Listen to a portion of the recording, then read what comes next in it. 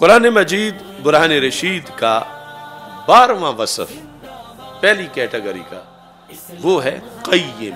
قیم کا مطلب ہے جو اوروں کو کھڑا کر دے، قائم کر دے۔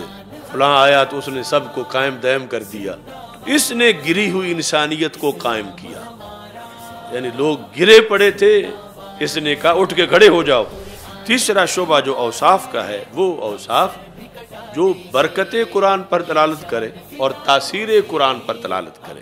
پہلے نمبر پر لفظ خیر ہے۔ نمبر دو، قرآن کا رحمت ہونا۔ نمبر تین، قرآن کا شفا ہونا۔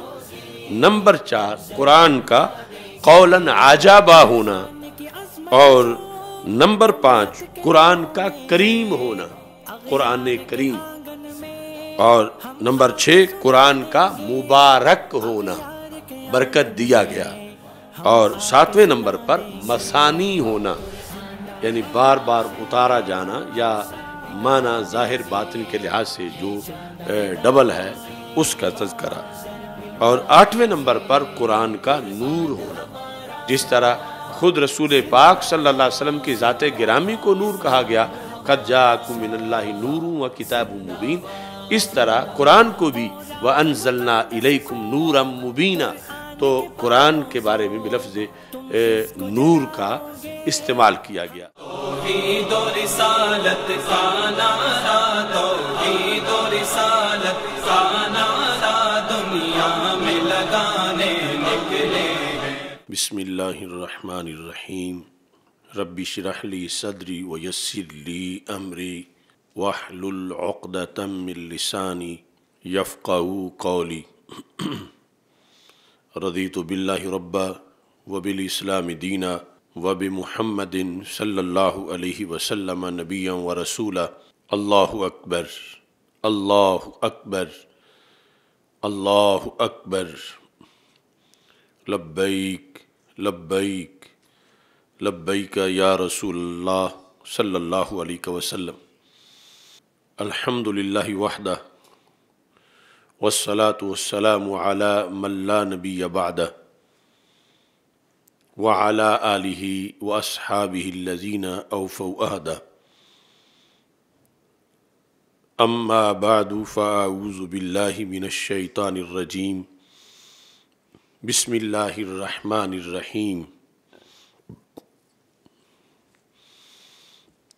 ياسين والقرآن الحكيم. صدق اللہ العظیم و صدق رسول النبی الکریم الامین. ان اللہ و ملائکتہ یصلون علی النبی. یا ایوہ الذین آمنوا صلو علیہ وسلموا تسلیما. الصلاة والسلام علیکہ یا سیدی یا رسول اللہ وعلا آلیکہ واصحابکہ یا حبیب اللہ. الصلاة والسلام علیکہ یا سیدی یا خاتم النبیین وعلا آلیکہ واصحابیکہ یا سیدی یا خاتم المعصومین مولا صلی وسلم دائما ابدا علی حبیبیکہ خیر الخلق کلہمی خدایا بحق بنی فاطمہ کے برکول ایمہ کنی خاتمہ اگر دعوتم رد کنی ور قبول، منو، دستو دامان آل رسول صلی اللہ علیہ وسلم۔ اللہ تبارک و تعالی جل جلالہ و عم نوالہ و اتم برہانہ و اعظم شانہ و جل ذکرہ و عز اسمہ کی حمد و ثناء۔ اور حضور سرور کائنات مفخر موجودات زینت بزم کائنات، دستگیر جہاں، غم گسار زماں، سید سروراں حامی بے کساں قائد المرسلین خاتم النبیین، احمد مجتبہ جناب محمد مصطفیٰ صلی اللہ علیہ وآلہ وصحابہ وبارک وسلم۔ کے دربار گہر بار میں ہدیہ، درود و سلام عرض کرنے کے بعد السلام علیکم ورحمۃ اللہ وبرکاتہ۔ ناظرین، حاضرین، سامعین،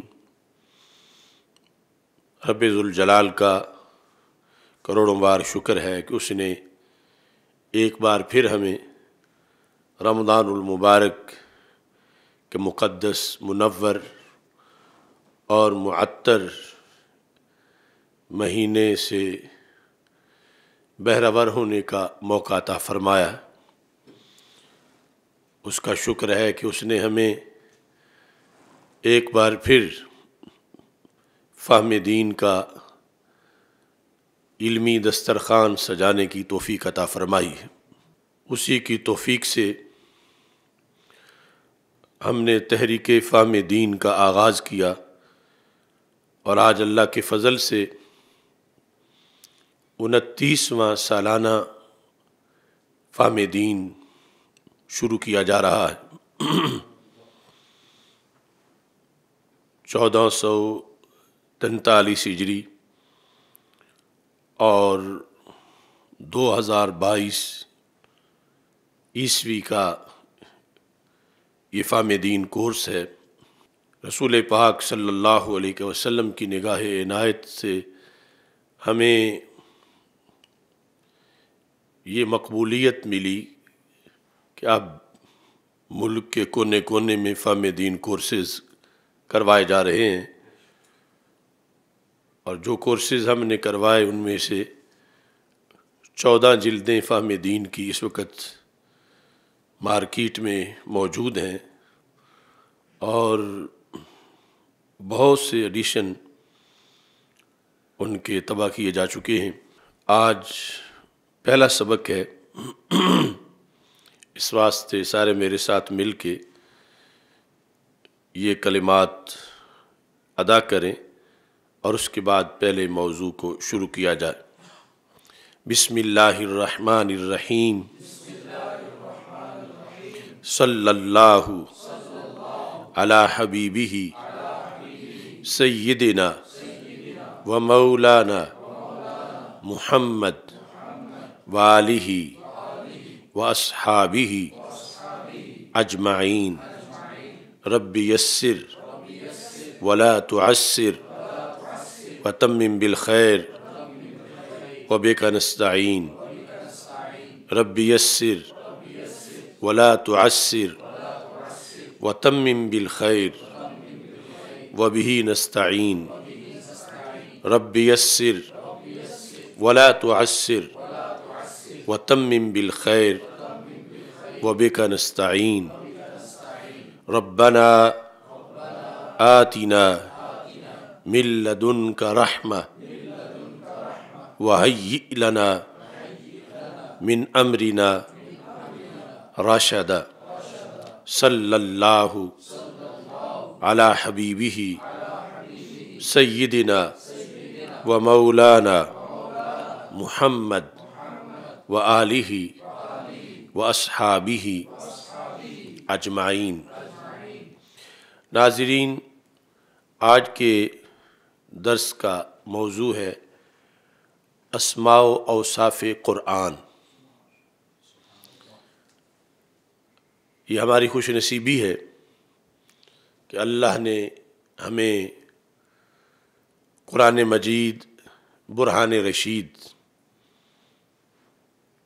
جیسی اتنی جامع مبارک کتاب عطا کی ہے۔ سرور کونین حضرت محمد مصطفیٰ صلی اللہ علیہ وسلم کے قلب پر نور پر اس کا نزول ہوا۔ اور آپ وسیلہ بنے کہ پوری کائنات کو قرآن مجید برہان رشید سے فائدہ حاصل کرنے کا موقع مل سکے۔ ہمارے آقا صلی اللہ علیہ وسلم نے قرآن مجید برہان رشید کو اپنا سب سے بڑا معجزہ قرار دیا۔ یہاں تک کہ صحیح بخاری شریف کتاب و فضائل القرآن کے اندر ہمارے آقا صلی اللہ علیہ وسلم کا یہ فرمان ہے ما من نبی اللہ وقد اوتیا من الآیات۔ ہر نبی کو اللہ کی طرف سے آیات دی گئیں،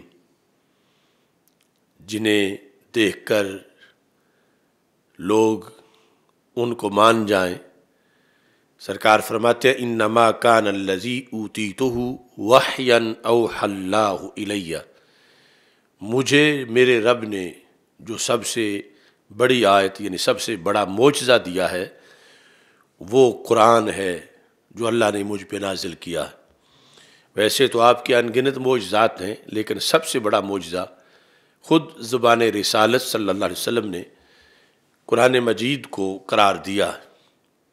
اور ہمارے آقا صلی اللہ علیہ وسلم نے فرمایا فارجو ان اکون اکثر ہم تابعہ یوم القیامہ مجھے یہ یقین ہے کہ قیامت کے دن میری امت سب نبیوں کی امتوں سے بڑی امت ہوگی کیونکہ اللہ نے مجھے قرآن بطور معجزہ عطا کیا ہے۔ قرآن مجید برہان رشید پر بحث اور گفتگو کے لحاظ سے ہزاروں موضوعات ہیں۔ آج کا ہمارا موضوع جو ہے، یہ پورے قرآن کا ایک خلاصہ ہے۔ اگرچہ وقت اتنا کھلا نہیں کہ ہم وہ سارا بیان کر سکیں، لیکن ایک سکیچ اس کا سامنے رکھیں گے، جس سے انشاءاللہ کافی حد تک قرآن مجید، برہان رشید کے لحاظ سے عوام و خواص کو تعارف ہو سکے گا۔ قرآن مجید، برہان رشید کے انہی فیوز و برکات کو سامنے رکھتے ہوئے حضرت عبداللہ بن مسعود رضی اللہ تعالی عنہ نے ارشاد فرمایا، تبرانی موجم کبیر کے اندر ایسے ہی مصنف ابن ابی شیبہ میں اور تفسیر در منصور میں یہ اثر موجود ہے۔ تبرانی موجم کبیر کے جلد نمبر نو کے اندر صفحہ نمبر ایک سو چھتیس پر، حدیث نمبر آٹھ ہزار چھ سو چھیاسٹھ، یہ الفاظ لکھے ہیں، من اراد العلم، جو بندہ علم چاہتا ہے، العلم، ہما جہت علوم، کا جو شیدائی ہے من اراد العلم فل یوسور القرآن کہ جو علم کا متلاشی ہے، اسے چاہیے کہ وہ قرآن میں غور کرے۔ فل یوسور یہ سعد کے ساتھ نہیں فا کے ساتھ۔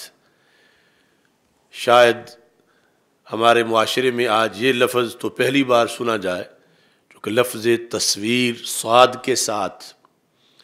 تو اکثر بولا جاتا ہے، لیکن لفظ تصویر فا کے ساتھ سوارا یوسویرو تصویرن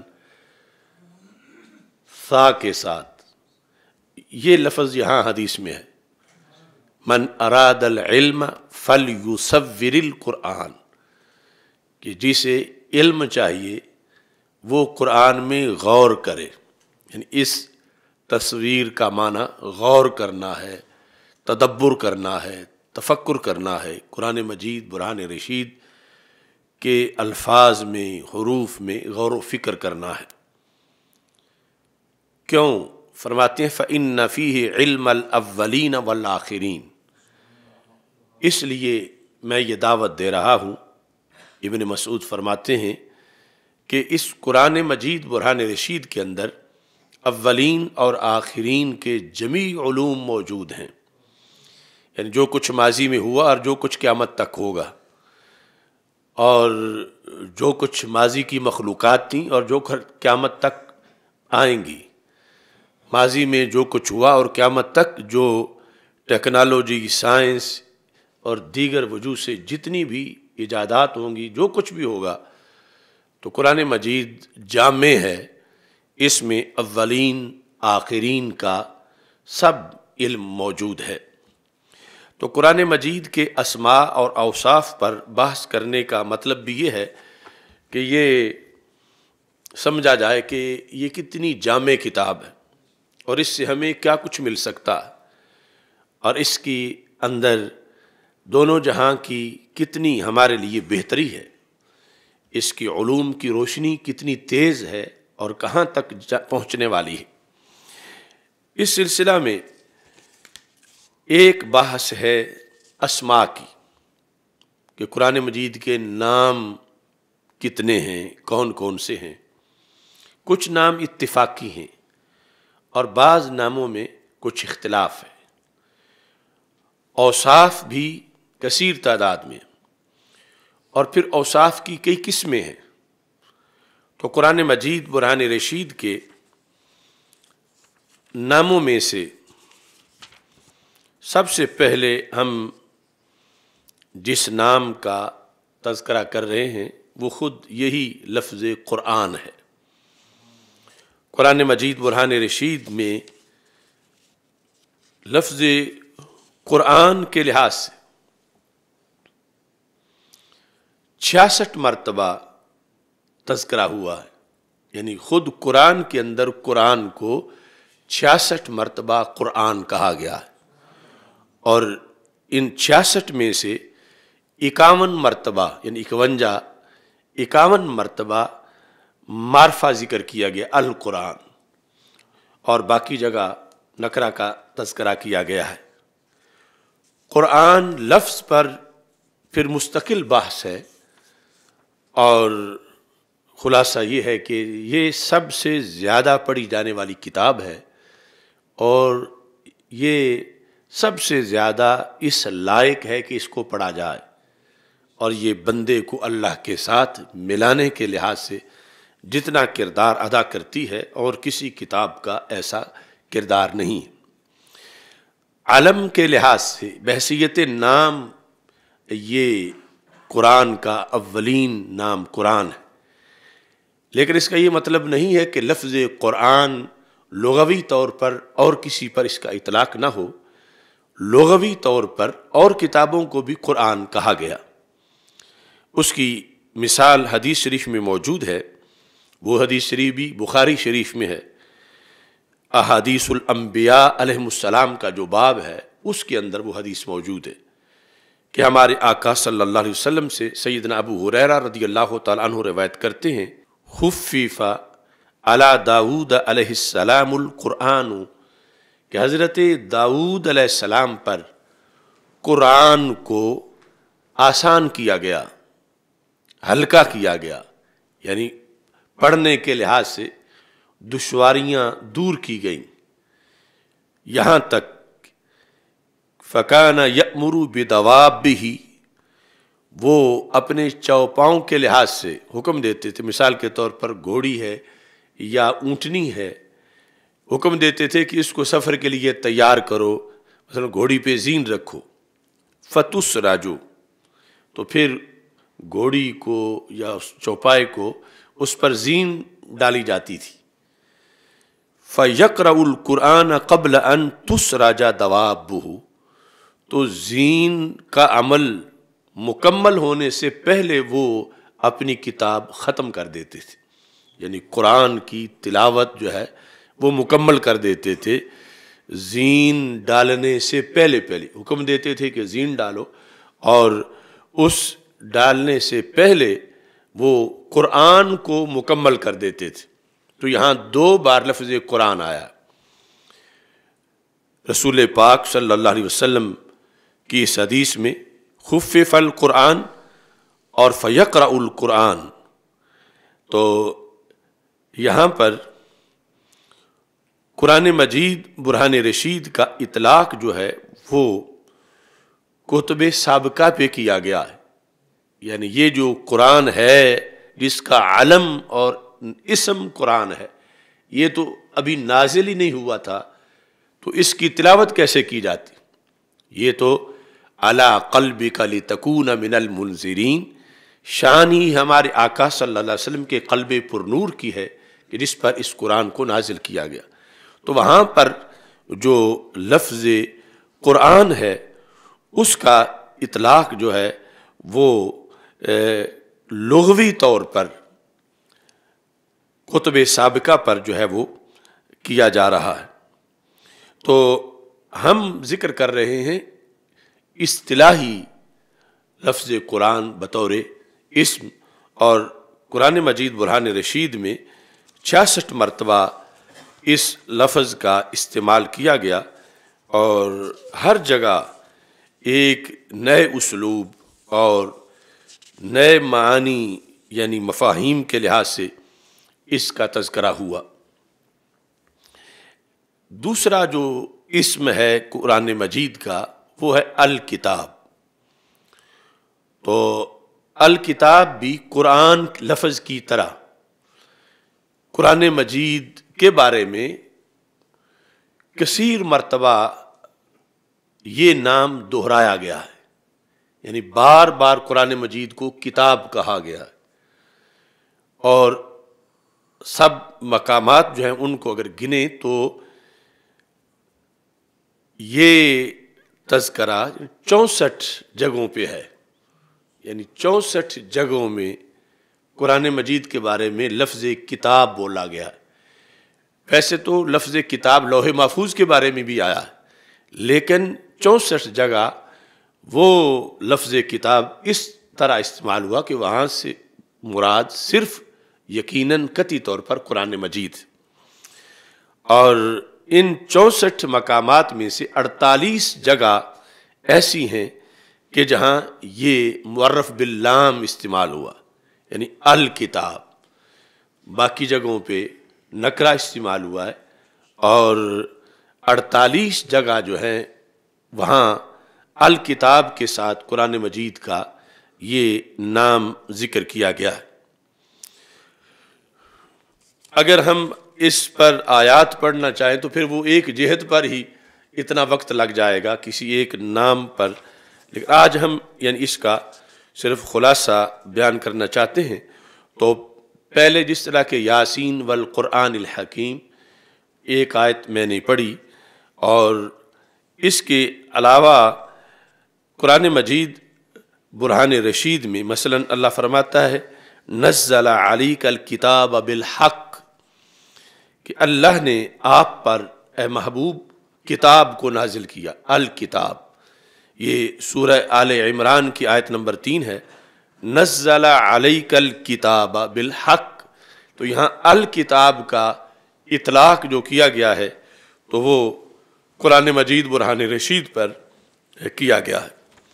تو قرآن مجید کا تیسرا بڑا نام، قرآن مجید کے اندر ہی جس کا استعمال موجود ہے، سب سے پہلے آپ نے یعنی اس سلسلہ کے اندر یہ اطلاق دیکھا کہ قرآن دوسرے نمبر پہ کتاب، تیسرے نمبر پہ الفرقان۔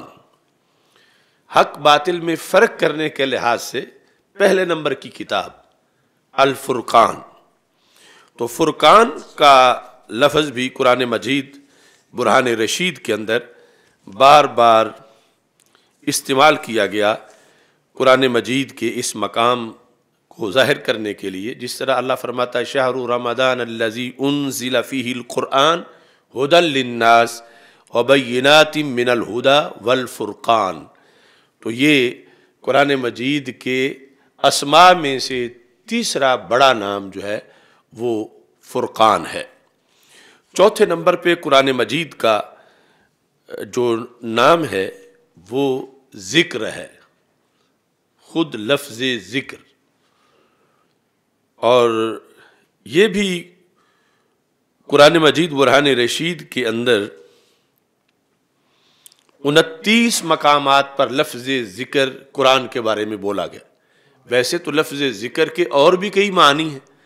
اور بھی کئی چیزوں کا تذکرہ ذکر کے لفظ کے ساتھ کیا گیا، لیکن انتیس آیات ایسی ہیں کہ جہاں لفظ ذکر قرآن کے نام کے طور پر استعمال کیا گیا۔ اور اس کے اندر خالق کائنات جل جلالہ کے مختلف فرامین موجود ہیں۔ یہ انتیس جگہ جو ذکر ہے، اس کے اندر پھر جو معرف باللام یعنی معرفہ ہے، الف لام کے ساتھ، وہ گیارہ مقامات ہیں کہ جہاں از ذکر کہہ کر قرآن مجید، برہان رشید کو بیان کیا گیا۔ مثلا اللہ تعالیٰ فرماتا ہے ذالی کا نتلوح علیہ کا من الآیات و ذکر الحکیم۔ اب و ذکر الحکیم میں یہاں جو ہوتا ہے مثلا ذکر یاد خدا کے بارے میں یا تذکرہ کرنا یا اور دیگر بہت سے معنی میں استعمال ہے، تو ان اس کا وہ مقام نہیں۔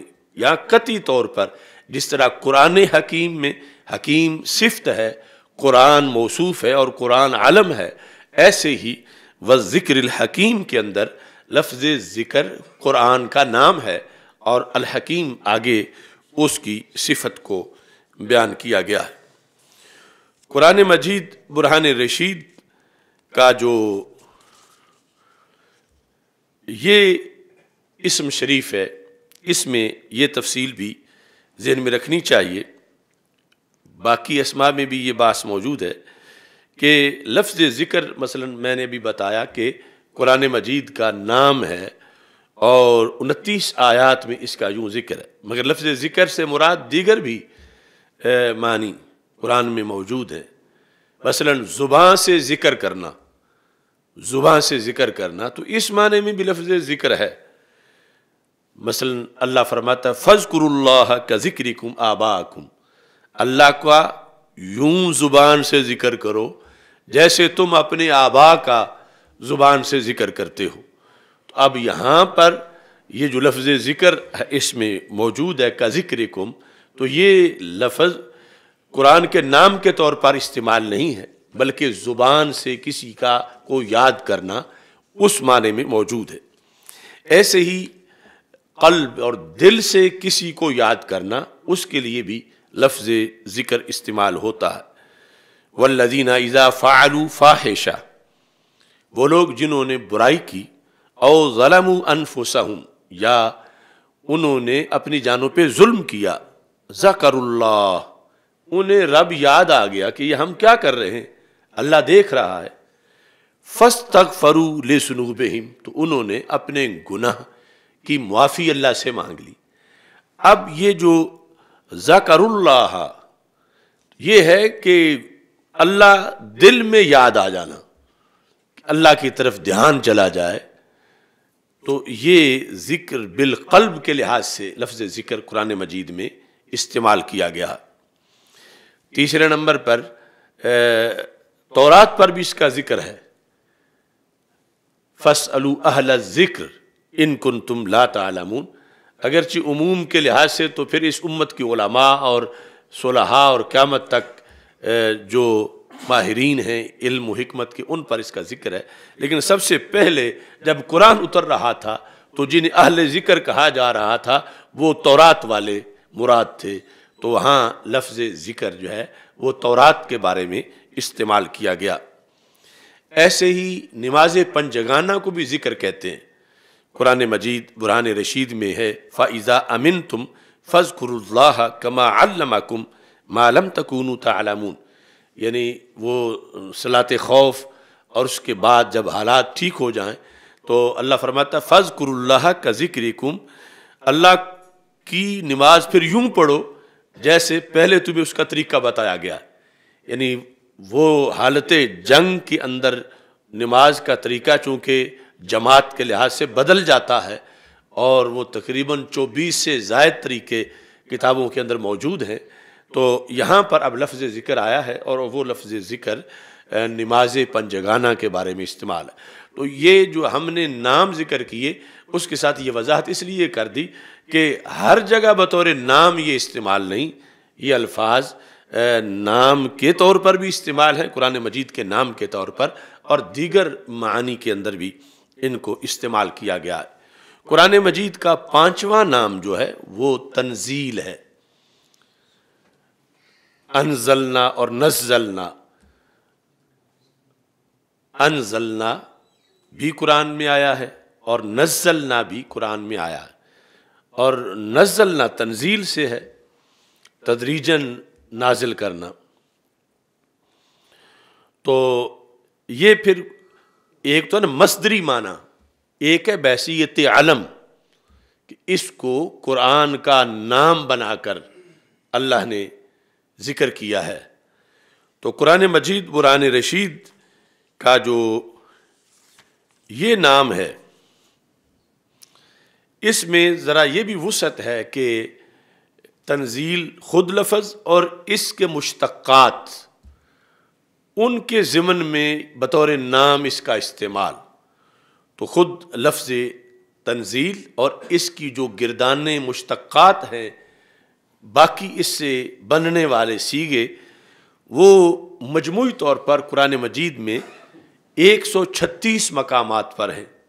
یعنی ایک سو چھتیس مقامات پر قرآن کے اس پانچویں نام کا ذکر ہے، لفظ تنزیل یا اس کے مشتقات کی صورت کے اندر۔ اور یہاں پر مثال کے طور پہ اللہ تعالیٰ فرماتا ہے تنظیر الکتاب من اللہ العزیز الحکیم۔ اور دیگر بہت سے مقامات ہیں جہاں پر اس نام کا بطور خاص جو ہے وہ تذکرہ موجود ہے۔ ایسے ہی اس کے بعد کچھ ایسے نام ہیں کہ جن کے بارے میں اختلاف ہے۔ یعنی یہ پانچ نام قطعی طور پر قرآن کے نام ہیں، جن کی اتنے زیادہ مقامات قرآن سے دلیل کے طور پر موجود ہیں۔ مگر کچھ اسما ایسے ہیں کہ بعض نے تو ان کو اسما بنایا، لیکن بعض نے اس کا رد بھی کیا۔ اور ان میں جہت رد زیادہ ہے۔ مثال کے طور پر اثارہ۔ اثارہ یہ خود قرآن کی آیت میں قرآن کے لیے بعض کے نزدیک بولا گیا۔ ایسے ہی امر اللہ، ایسے ہی تبصرہ اور الحجہ، الرسالہ شرعتم و منہاجہ القسط، النعمہ۔ یہ نو جو، نو نام جو ہیں یہ، ان کے بارے میں یعنی ان کے مقابلے میں اقوال موجود ہیں کہ یہ نام نہیں، مگر ان کے بارے میں بھی بعض نے ان کے نام ہونے کا قول کیا ہے کہ قرآن میں ان ناموں سے بھی قرآن مجید کو یاد کیا گیا۔ لیکن جہت رد جو ہے وہ زیادہ ہے اور اس میں تطبیق یہ ہو سکتی ہے کہ ان کو اوصاف بنا لیا جائے۔ یعنی نام کے لحاظ سے تو اختلاف ہے، مگر وصف تو یہ قرآن کا یقیناً موجود ہے۔ اب اوصاف کے لحاظ سے جو بحث ہے، اوصاف قرآن جو ہمارے موضوع کا دوسرا حصہ ہے۔ تو قرآن مجید برہان رشید کے اوصاف جو بہت زیادہ ہیں، ان کو کیٹاگریز کے لحاظ سے ہم چار شعبہ جات میں تقسیم کر سکتے ہیں۔ یعنی ایک وہ اوصاف جو سریحا سراہتاً قرآن میں ہے اور سراہتاً دلالت کرتے ہیں قرآن کی حقیت پر، حقانیت پر اور صداقت پر۔ یعنی ان اوصاف کا یہ فنکشن ہے کہ وہ قرآن کی حقانیت اور صداقت کے اوپر دلالت کرے دوسرا جو شعبہ ہے، اوصاف کا، وہ ایسے اوصاف ہیں کہ دلالت وصف پر وہاں بھی سراہتاً ہے، کوئی ابہام نہیں ہے۔ لیکن وہ اوصاف قرآن مجید کے بیان ہونے پر دلالت کرتے ہیں اور قرآن مجید کے مرشد ہونے پر دلالت کرتے ہیں۔ یعنی قرآن مجید کی جو رہنمائی ہے، پہلے تھی حقانیت اور صداقت، اس پر دلالت کرنے والے اوصاف۔ پھر قرآن مجید کا حق کو باطل سے ظاہر کرنا بیان کا یہی مطلب ہے اور قرآن مجید کا رہنمائی کرنا، یہ جو وصف ہے، اس کو آیات میں ذکر کیا گیا۔ تیسرے نمبر پر ایسے اوصاف ہیں کہ جو قرآن کے وصف تو سراہتاً وہاں سے سمجھ آتے ہیں، مگر ان کا تعلق برکت قرآن ظاہر کرنے پر ہے۔ ان کا تعلق تاثیر قرآن کو بیان کرنے کا۔ یعنی وہ وصف پہلے دونوں سے مختلف ہے۔ پہلے اوصاف کی، وہ کیٹاگری تھی جو قرآن کی حقانیت اور صداقت ظاہر کرتے دوسری وہ کیٹاگری تھی جو قرآن مجید کا بیان ہونا اور مرشد ہونا اس کو واضح کرتے یہ جو تیسرے اوصاف ہیں، یہ وہ ہیں، قرآن مجید میں جن کا بار بار ذکر کیا گیا جو قرآن کی برکت پر دلالت کرتے ہیں اور قرآن کی تاثیر پر دلالت کرتے ہیں، حصی مانوی طور پر یہ جو انقلاب کی کتاب ہے اور کایا پلٹ دیتی ہے اور تبدیلی لاتی ہے اور اس کے اثرات ہیں یعنی وہ ظاہر پر بھی مرتب ہوتے ہیں، باطن پر بھی مرتب ہوتے ہیں، بیماریاں بھی صحیح ہوتی ہیں، پھر وہ دل کی بیماریاں جو چھپی ہوئی ہیں یا بدن کے ظاہر کی بیماریاں تو یہ جو اوصاف ہیں قرآن مجید کے، وہ یہ تیسری کیٹاگری کے ہیں۔ چوتھی اوصاف کی قسم وہ ہے کہ جن اوصاف کی دلالت کے لحاظ سے اختلاف یعنی سراہتن ہے یا سراہتن نہیں ہے۔ پہلے تینوں قسم کی اوصاف میں وصف ہونا سراہتن نظر آ رہا تھا۔ اور یہ چوتھی جو قسم ہے اوصاف کی، یہاں سراحت اور غیر سراحت کے لحاظ سے اختلاف ہے، لیکن اوصاف یہ بھی ہیں اور بہت سی آیات کے اندر ایسے اوصاف کا بھی تذکرہ۔ ہے اب ان اوصاف کے لحاظ سے جو سب سے پہلے وصف ہے کہ سراہتاً وصف پہ دلالت ہو اور اس کے بعد پھر حقانیت پر دلالت ہو، صداقت پر دلالت ہو، تو اوصاف میں سے پہلا وصف ہم جو بیان کرنا چاہتے ہیں وہ ہے لفظ بلاغ۔ یعنی قرآن مجید کا یہ وصف ہے جو قرآن مجید کی حقانیت اور صداقت پر تذکرہ دلالت کرتا ہے۔ اور اللہ تعالیٰ نے کئی آیات میں اس کا ذکر کیا۔ حاضہ بلاغ الناس حاضہ بلاغ الناس تو حاضہ جو ہے اس کا اشارہ ہے قرآن کی طرف، اور بلاغ جو ہے یہ پھر اگرچہ ترکیب میں تو خبر واقع ہے، لیکن وہ ویسے تو وہ اس کی ایک شان ہے، مثلا زید القاتب خبر ہے، تو زید کا وصف بھی ہے، اگرچہ وہ نحوی صفت نہیں، لیکن وہ زید کے ساتھ پائی جانے والی ایک شان کو وہ لفظ بیان کرتا ہے۔ تو یہاں پر حاضہ بلاغ الناس جو سورہ ابراہیم میں آیت نمبر باون ہے، یہاں پر قرآن مجید قرآن رشید کے اس وصف کا تذکرہ ہے، جو پہلی کیٹاگری کا ہے، جو قرآن کے برحق ہونے اور قرآن کی صداقت جو ہے اس پر وہ وصف دلالت کرتا ہے۔ قرآن مجید برہان رشید کا ایک وصف لفظ آیات ہے۔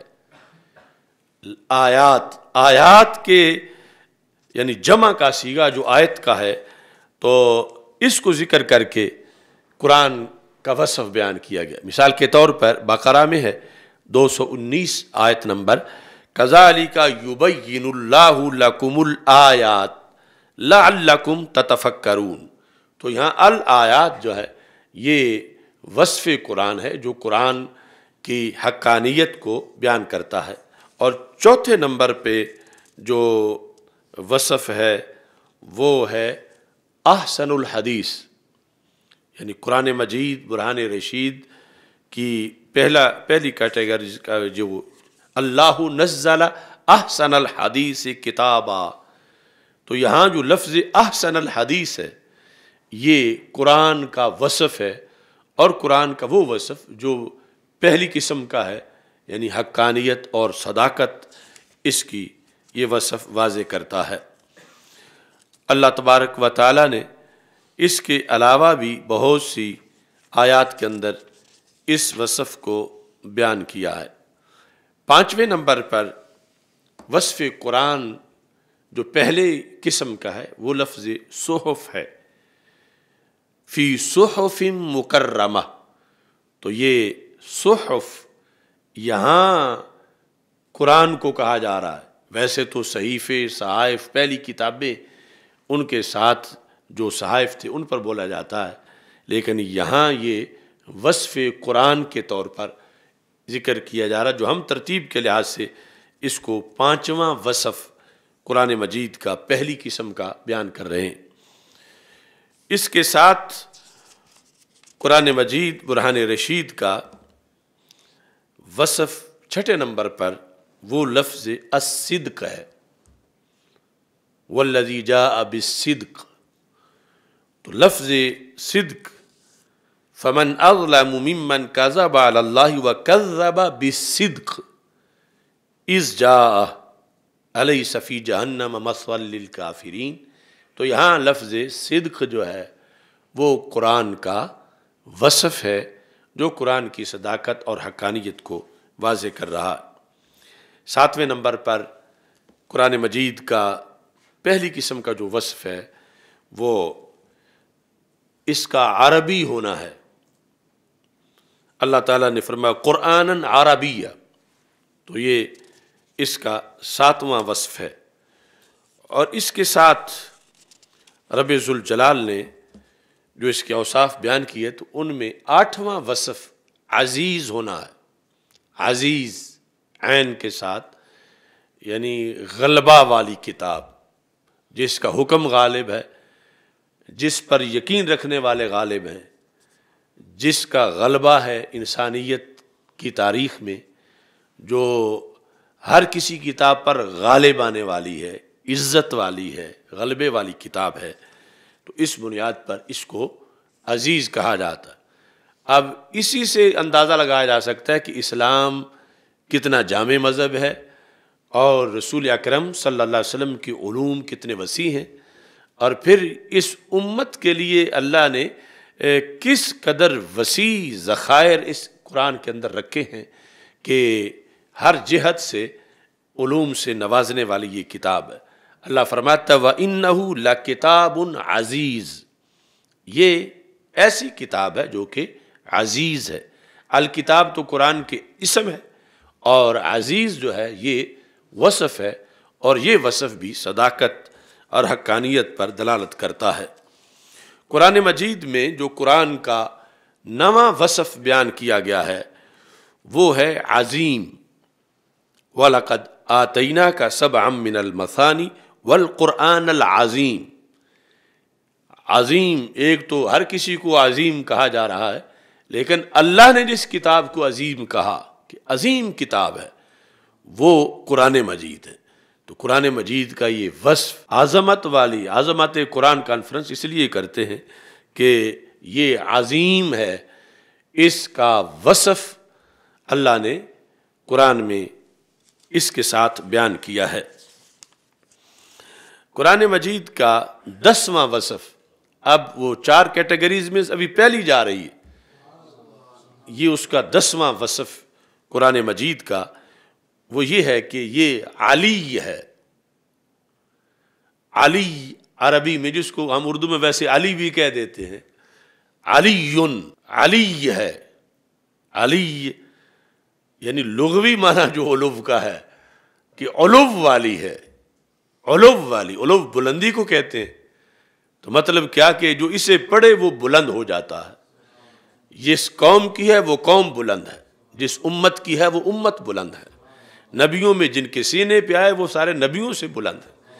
کتابوں میں یہ کتاب بلند ہے، یہ علی اس کا تذکرہ۔ وَإِنَّهُ فِي أُمِّ الْكِتَابِ لَدَيْنَا لَعَلِيٌّ حَكِيمٌ۔ یہ جو لفظ علی ہے، تو یہ قرآن مجید کا وصف ہے۔ ہو سکتا ہے روافظ وہ تو ہر چیز ویسے بگاڑ دیتے ہیں، تو وہ لا علی کو ویسے مولا علی رضی اللہ تعالیٰ عنہ بنا لے۔ اور اس طرح جو ہے وہ ایک عربی زبان میں ایک لطیفہ بھی ہے کہ رافضی نے کہا کہ ورفعنہ مکانا علیہ۔ تو اللہ نے تو علی کا مکان بلند کر دیا ہے۔ اور یہ مولا علی کا نام ہے۔ حالانکہ وہ مکانن علیہ پیچھے ایک پیغمبر کا ذکر ہے کہ اللہ نے ان کو اونچی جگہ پہ سرفراز کیا۔ تو وہاں پر علیہ مکان کی صفت ہے۔ مگر یہ جس طرح کا جتنا علم ان کا ہوتا ہے، تو اس نے کہا کہ یہ دیکھو، اتنی بڑی شان ہے۔ تو آگے جو الجھ رہا تھا سنی اس سے، وہ بھی مطلب اس فن میں ماہر تھا۔ تو اس نے کہا کہ مولا علی کا تو صرف مقام بلند ہے، تو ادھر ان حکانہ صدیق کا نبیہ۔ تو اس نے کہا کہ حضرت صدیق جو ہے، ان کے بارے میں تو یہ لکھا ہوا ہے۔ تو یہ مطلب ایک لطیفے کے طور پر، ورنہ یہ نہ، یہ استدلال پہلا صحیح ہے، نہ دوسرا صحیح ہے کہ وہ کسی اور ذات کو صدیق بھی کہا جا رہا ہے اور نبی بھی کہا جا رہا ہے۔ اور وہ وصف نبوت سے متصف ہیں۔ وہ حضرت صدیق اکبر رضی اللہ تعالیٰ عنہ، ابو بکر صدیق، وہ مراد نہیں ہے۔ اور ایسے ہی مکان علیہ میں حضرت مولا علی رضی اللہ تعالیٰ عنہ مراد نہیں۔ ہے اور ایسے یہ جو آیت میں اب پڑھ رہا ہوں، وَإِنَّهُ فِي أُمِّ الْكِتَابِ لَدَيْنَا لَعَلِيٌّ حَكِيمٌ۔ تو یہ لفظ علی جو ہے، یہ قرآن مجید کا ایک وصف ہے جو یہاں ہم نے اوصاف کی لسٹ میں دسویں نمبر پر اس کا ذکر کیا۔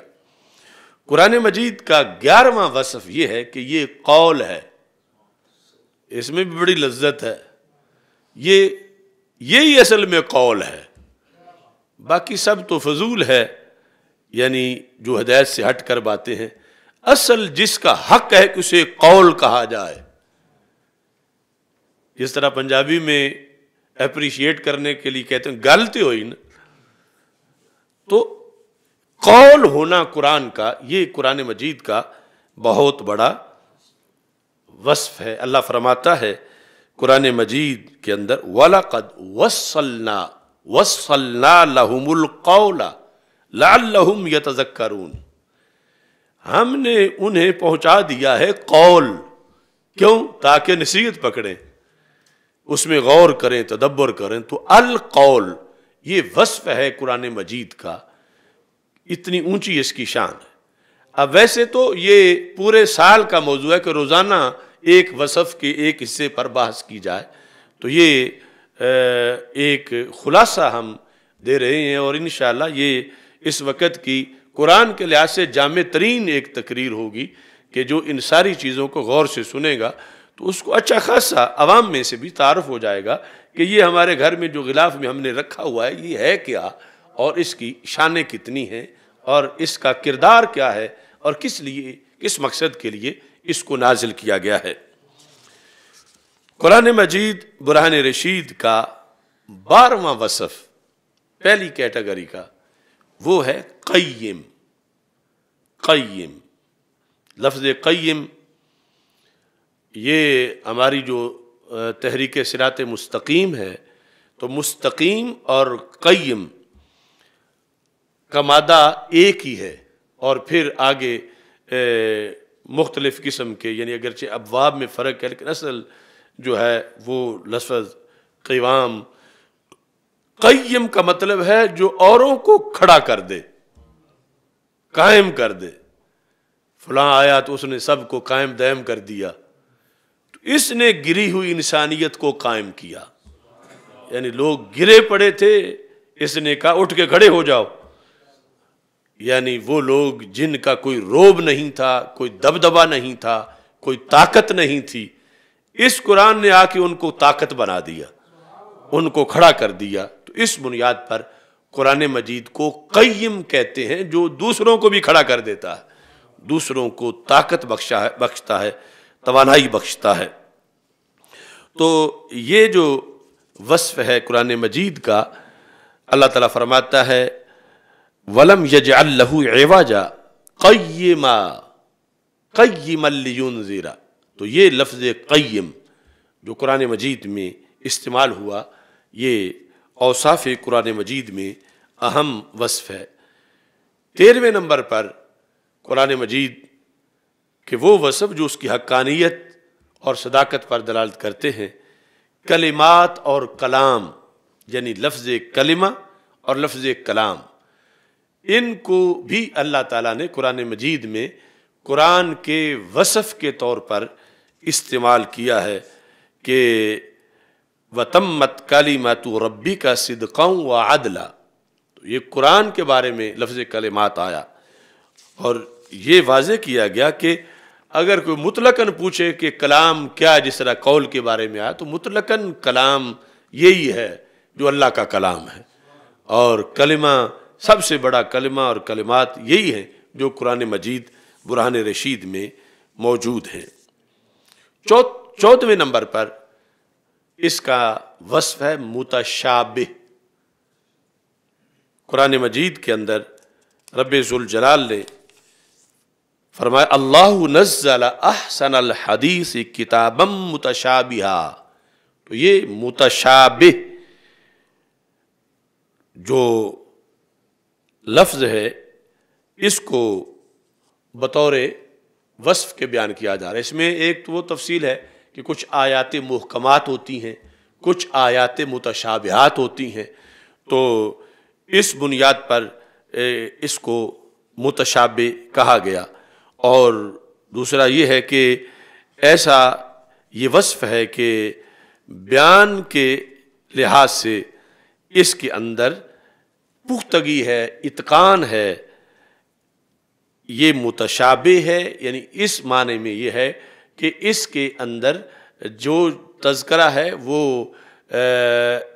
واضح اتنا ہے کہ اس دلیل کو توڑا نہیں جا سکتا، اس کی قطعیت کو ختم نہیں کیا جا سکتا۔ قرآن مجید کا جو پندرواں وصف ہے، پہلی قسم کے اوصاف میں وہ ہے اس کا مجید ہونا، مجید، مجد والا، بزرگی والا۔ اللہ فرماتا ہے، قاف والقرآن المجید۔ تو القرآن تو اسم ہے اور آگے المجید جو ہے، اس کو بطور وصف ذکر کیا گیا ہے۔ سولہویں نمبر پر اس کا جو وصف ہے، وہ ہے مہیمن ہونا۔ مہیمن مہیمن کہتے ہیں نگہبان کو، پاسبان کو۔ یہ مہیمن ہے انسانیت کا۔ یہ اللہ کے بندوں کا مہیمن ہے۔ حدیث شریف ایک تفصیل حدیث ہے کہ اسلام ایک شارہ ہے اور بندہ جب چل رہا ہے تو دائیں بائیں دیواریں بنی ہوئی ہیں اور ان دیواروں میں دروازے ہیں۔ اور دروازے جو ہیں وہ کھلے ہیں۔ اور کھلے تو ہیں مگر اوپر پردہ ڈالا ہوا ہے۔ اور ان دیواروں کے پیچھے دونوں طرف خواہشات کی وادیاں ہیں۔ یعنی اگر بندہ وہاں چلا جائے تو پھر اسی میں ڈوب جاتا ہے، گمراہ ہو جاتا ہے، غرق ہو جاتا ہے۔ وہ شیطان کے اڈے ہیں۔ تو بندہ سرات مستقیم پہ چل رہا ہے۔ دروازے ہی اگر نہ ہوتے تو پھر اس کا کمال کیا تھا؟ پھر تو نکل ہی نہیں سکتا تھا۔ دروازے ہیں، لیکن دروازے کھلے ہوں کہ یہ گزرتا ہوا بھی اٹریکشن ادھر سے آ جائے کہ تو ادھر آ جا۔ تو ایسا نہیں ہے۔ پردے آگے لٹکائے ہوئے ہیں کہ اگر کسی نے آنا ہے تو وہ خود پھر آئے۔ یہ نہ کہے کل قیامت کے دن کہ میں تو جا ہی رہا تھا اور چلتے چلتے مجھے وہاں سے یہ نظر آیا۔ ارادہ کر کے جا کے دیکھے، پیچھے پردے کے۔ تو پھر مارا جائے تو اس کا اپنا قصور ہے۔ اب یہاں جو ہے حدیث شریف میں ہے کہ جب بندہ چلک، چلتا ہے تو جب اس کو کہ دیکھوں تو صحیح یہ پردے کے پیچھے کیا ہے، تو بندے کے دل میں اللہ نے ایک وائز رکھا ہے۔ جو اس کو سمجھاتا نہیں نہیں سیدھے ہی چل، خطرہ ہے، تو اللہ نے جو سیدھا رستہ دے دیا اسلام کا، اس پہ چلتا جا۔ اب جب یہ وائز ناکام ہو جاتا ہے سمجھانے میں اور بندہ کہتا نہیں نہیں، میں تو دیکھوں گا، اتنے پردے لگے ہوں کہ ضرور کوئی اس کے پیچھے چیز ہوگی، میں دیکھ تو آؤں. تو پھر قرآن بولتا ہے اور قرآن کو وہاں مہمن کہا گیا ہے۔ قرآن کہتا ہے کہ اگر تو نے پردہ کھولا تو پھر ہلاک ہو جائے گا۔ تو ادھر نہ جا، تو سیدھا چل۔ اب یہ اللہ کی طرف سے انتظام ہے روحانی طور پر لوگوں کو سرات مستقیم پہ چلانے کا۔ تو یہ وصف ہے مہمن ہونا، قرآن مجید، برہان رشید کا۔ یعنی یہ امت جو اجڑی نہیں پہلی امتوں کی طرح، جو بگڑی نہیں پہلی امتوں کی طرح، چودہ صدیاں گزر جانے کے باوجود آج بھی دو ارب کے قریب لوگ اس دین پر موجود ہیں اور آج بھی کعبے کے گرد رش ہے، آج بھی لاکھوں حافظ ہیں، آج بھی لاکھوں علماء ہیں، آج بھی روزہ رکھا جا رہا ہے، نمازیں پڑھی جا رہی ہیں۔ تو یہ قرآن کو مہمن بنایا گیا۔ اور رسول پاک صلی اللہ علیہ وسلم نے فرمایا، اس لیے کہ میں تو مہمن چھوڑ کے جا رہا ہوں، ارجو ان اکون اکثر ہم تابعہ، تو مجھے امید ہے کہ جتنی بڑی امت میری ہوگی، اتنی کسی نبی کی امت نہیں ہوگی۔ یہ ہے قرآن کا مہمن ہونا۔ تو انزلنا الیک الکتاب بالحق مصدق لما بین یدیہ من الکتاب و محیمن علیہ۔ تو یہ محیمن وصف ذکر کیا گیا جو قرآن مجید میں سورہ معاہدہ کے اندر آیت نمبر اڑتالیس میں۔ تو اتنی جامع کتاب ہے کہ نام پڑھنے لگیں تو ناموں میں اتنی وسعت ہے۔ وصف دیکھیں تو اوصاف میں اتنی وسعت ہے۔ تو یہ سرکار کے صدقے امت نوازی گئی کہ آخری امت ہے۔ ان کے لیے جامع نصاب ہونا چاہیے۔ اتنا جامع کہ ہر خلق، ہر ادب، ہر سیرت اور ہر شعبہ جو ہے، اس کے اندر ان کے لیے الوحی ہدایات موجود ہو اللہ کی طرف سے، تاکہ یہ کسی لحاظ سے بھی ناکام نہ ہوں۔ اور پہلی امتوں میں جو سارے بکھرے ہوئے فضائل تھے، وہ اکٹھے ہو کے ان کے اندر آئیں اور اس میں اضافہ بھی ہو، اس بنیاد پر اتنے واضح اور صاف والی کتاب رب ذوالجلال نے ہمیں عطا کی۔ اب اوصاف میں جو دوسرا شعبہ تھا، ہم نے اس کا ذکر کیا، جو قرآن کے بیان ہونے پر دلالت کرتے ہیں اور قرآن کے مرشد ہونے پر کہ یہ ارشاد کرتا ہے، گائیڈ کرتا ہے، رہنمائی کرتا ہے یعنی یہ وصف جس میں غالب ہے اس انداز میں، تو یہ بھی بہت سے اوصاف ہیں، قرآن مجید، برہان رشید کی اب وہ میں اجمالاً ذکر کر دیتا ہوں کہ مثال کے طور پر نمبر ایک، بشیر ہونا۔ اس پر علیحدہ آیات ہے کہ یہ قرآن بشیر ہے، خوشخبری سنانے والا ہے۔ پھر بصائر ہونا کہ اس کے اندر ایسے براہین ہیں، ایسے دلائل ہیں، جس کی وجہ سے حق سے، باطل سے حق واضح ہو جاتا ہے اور سیدھا رستہ نظر آتا ہے۔ تیسرے نمبر پر اس کا محکم ہونا، اس کا حکیم ہونا اور اس کا حکمت ہونا۔ یہ بھی اس کے، یہ جو دوسری قسم کے وصف ہیں، ان کو بیان کرتا ہے۔ چوتھے نمبر پر قرآن ذکرہ ہے۔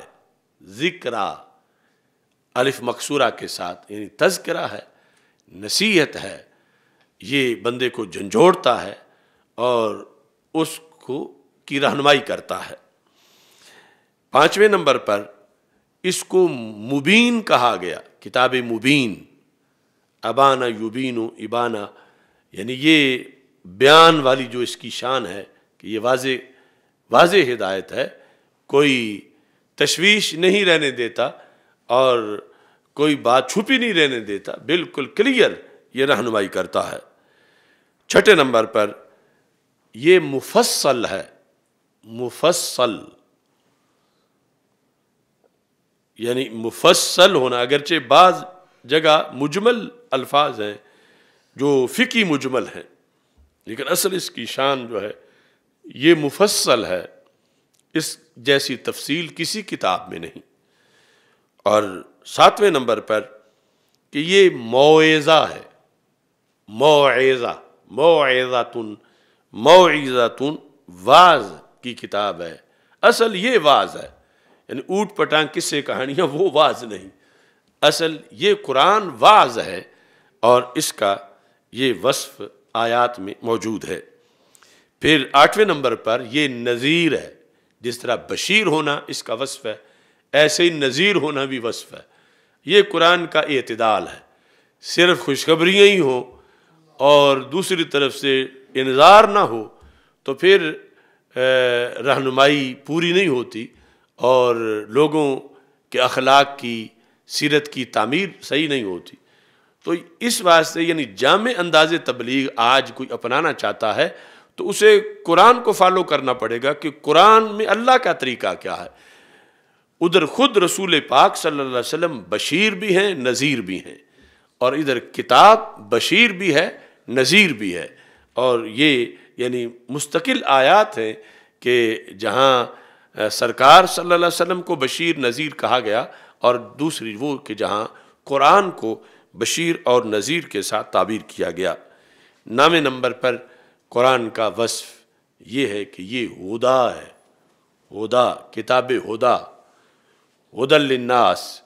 تو یہ ہم نے دوسری کیٹاگری کے جو اوصاف تھے ان کی پھر اقسام بیان کی اور نام کے طور پر پھر آگے اجمالاً آیات کا تذکرہ ہے۔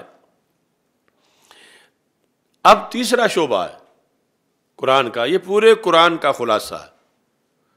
تیسرا شعبہ جو اوصاف کا ہے، وہ اوصاف جو برکت قرآن پر دلالت کرے اور تاثیر قرآن پر دلالت کرے۔ تو یہ بھی یعنی آٹھ قسم کے ایسے اوصاف ہیں قرآن کے جو قرآن کے اس پہلو پر دلالت کرتے ہیں۔ ان اوصاف میں سے پہلے نمبر پر لفظ خیر ہے۔ قرآن کا خیر ہونا۔ اب ان سب پر آیات وہ ایک لمبا موضوع ہے۔ خیر ہونا۔ نمبر دو، قرآن کا رحمت ہونا۔ نمبر تین، قرآن کا شفا ہونا۔ نمبر چار، قرآن کا قولن عجابہ ہونا، اور نمبر پانچ، قرآن کا کریم ہونا، قرآن کریم، اور نمبر چھ، قرآن کا مبارک ہونا، برکت دیا گیا، اور ساتویں نمبر پر مسانی ہونا یعنی بار بار اتارا جانا، یا معنی ظاہر باطن کے لحاظ سے جو ڈبل ہے، اس کا تذکرہ۔ اور آٹھویں نمبر پر قرآن کا نور ہونا۔ یعنی جس طرح خود رسول پاک صلی اللہ علیہ وسلم کی ذات گرامی کو نور کہا گیا، قد جاکم من اللہ نور و کتاب مبین۔ اس طرح قرآن کو بھی وَأَنزَلْنَا إِلَيْكُمْ نُورًا مُبِينًا تو قرآن کے بارے میں بھی لفظ نور کا استعمال کیا گیا۔ تو یہ ایک فکری سیر ہے پورے قرآن کے لحاظ سے کہ قرآن کی یہ جہتیں بھی ہیں، یہ شانیں ہیں کہ اس طرح کے اوصاف جو برکت قرآن کے اوپر دلالت کرتے ہیں۔ تو قرآن مجید برہان رشید کے اوصاف کا جو چوتھا حصہ ہے، اس میں پھر بعض اوصاف کے اندر جو اختلاف بھی ہے۔ لیکن ان اور اختلاف والوں میں سے کچھ وہ ہیں جو جن کا وصف ہونا راجے ہے۔ اگرچہ اختلاف کا قول تو ہے، مگر پھر بھی وصف ہونا راجے ہے۔